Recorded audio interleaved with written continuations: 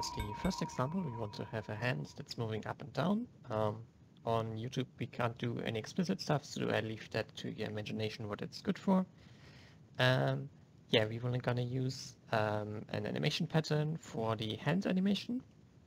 Uh, this could also be um, a Bubble timeline plugin or uh, idle poser or something else. Um, and um, then we're gonna use a value up down brick to control that animation pattern. And then uh, two buttons and a slider to uh, control that brick again. Um, so yeah, I prepared uh, this little scene here. I have a um, dance pole with a character and the animation pattern hooked up to the uh, hand to the hand here. So let's quickly show the animation here. It's just simply hand moving up and down in a loop. Uh, the fancy question, of course, why do we not simply use this animation pattern and why the complicated logic brick stuff? The thing is, it's kind of hard to precisely stop at uh, the upper or lower end of the animation uh, if you want to uh, chain it to some other animation, like move the hand away to some to do something else, come back and start this motion again. Um, so you need to stop precisely and you don't want any jerky move movement and that's where the logic brick helps. So what we're going to do is now we pause this, uh, disable a loop here and also disable autoplay. Um, so uh, this is simply controlled by the slider uh, uh, now and we have uh, motion from 0 to 1 which we can now directly control from a logic brick instead of uh, having the animation play on itself. So uh, we're gonna add the uh, plugin, uh, go to logic bricks, MacGruber value up down, open the UI, and we use the on value set to connect the plugin to our animation pattern. Um, current time, and we simply want to map uh, the 0 to 1 value we have to 0 to 1 again because that's the time uh, we had for our animation pattern. Um, done and now basically this plugin's value is directly hooked to whatever the uh, to directly hooked to the animation pattern. Um, so uh, yeah, we can test this already, test on pause. Uh, this is the animation. Uh, it's going up and down, as it says. Um, we're gonna disable this, this smooth step curve here. Uh, this means that at the ends we slow down a bit. Um, and this is why this looks a bit like, yeah, you stop it there. Uh, so we get a smoother animation in this case, uh, like this. Uh, it's just a matter of taste. And um, uh, we can also already demonstrate why it makes sense to use this brick. So um, I could just press this test pause up button to stop precisely at the top point. But as you noticed, it didn't stop instantly as I pressed the button. It waited for and calculated um, how far it would have to go. It, I actually, let's try it again. I actually pressed it just before it was going up and it calculated that it would need an other, an other round uh, to make it stop without jerking. Um, um, another thing is that you can um, change the speed smoothly, so I can set a higher speed and it slowly accelerates or decelerates, um, so uh, you get much smoother animation that way. Um, yeah, so now let's hook this up to uh, buttons and a slider. Uh, so let's add button to the scene, call it uh, start, uh, maybe move it up a bit.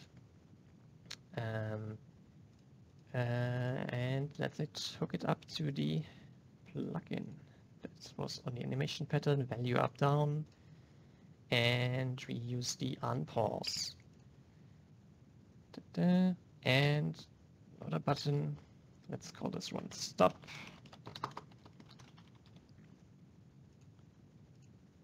And um, mission pattern. Um,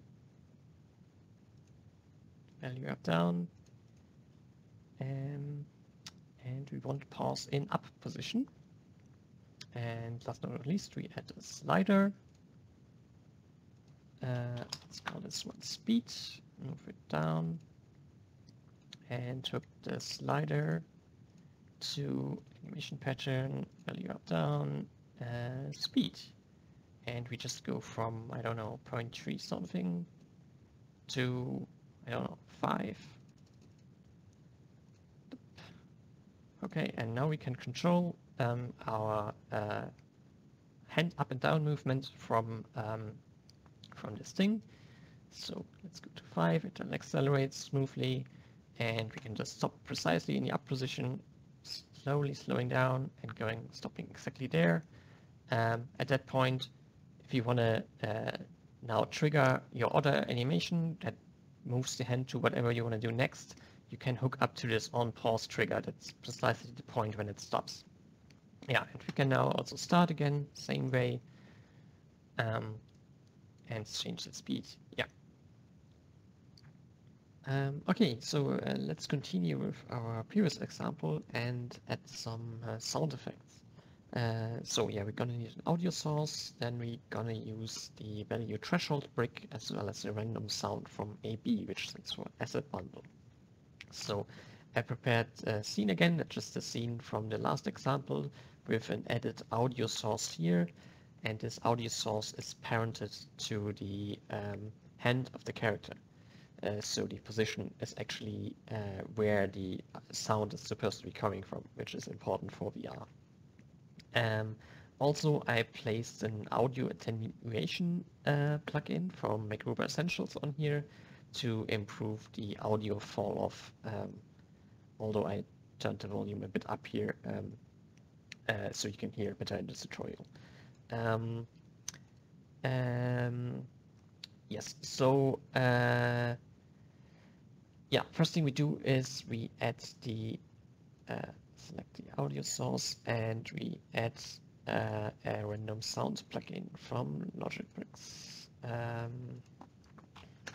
Sound, random sound from AB, and uh, we're gonna use the uh, loop sound effects that are coming with uh, live, actually. Uh, so we're just gonna hijack this asset bundle as we use live for the character anyway. Um, and yeah, we just have those. Um, so I'm gonna add the sounds from the asset bundle here. Uh, so we have four different sounds. Uh, why is it good to have four? Because if you would play a single uh, sound, you would notice that it's, yeah, it would repeat very often. You notice that very, very uh, quickly because, yeah, brains are good at recognizing patterns. Um, yeah, so we can test this already. Uh, so we get a random loop sound. Um, the next step is to hook this up to the animation. Uh, let's add the value threshold plugin here to the animation pattern. Uh, that's also from Logic Bricks, of course. Um, value threshold is somewhere here. Um, uh, yes, hook this up to our random sounds uh, which is on the audio source, random sound from AB, and we want to trigger it.